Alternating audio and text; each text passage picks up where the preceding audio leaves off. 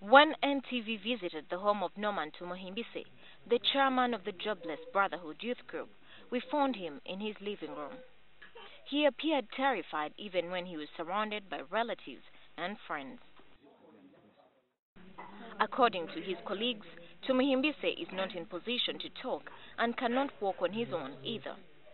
It's still unclear who picked him up exactly a week ago last Wednesday when he disappeared. It's also not yet known where he was kept for the seven days and what he went through. When I was called by Norman's wife, who is called Melissa, as she called me, she said, Please, Augustine, I'm threatened and I'm fearing home. I said, Why? Said, Please, you come home.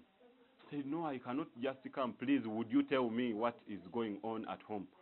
Said, uh, What is happening is that the man has come.